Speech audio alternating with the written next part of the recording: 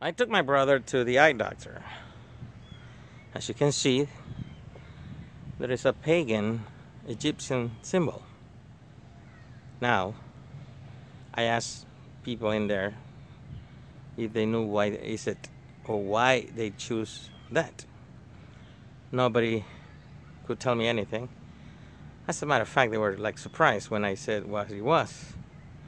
For those that don't know, this has an occultic background.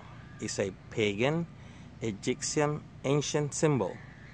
It's the all-seeing eye by Horus. Horus was a deity in Egypt. And he lost his left eye fighting another deity called Seth. Very pagan, used in the occult. Now, it's a symbol here in Fort Myers Eye Doctor.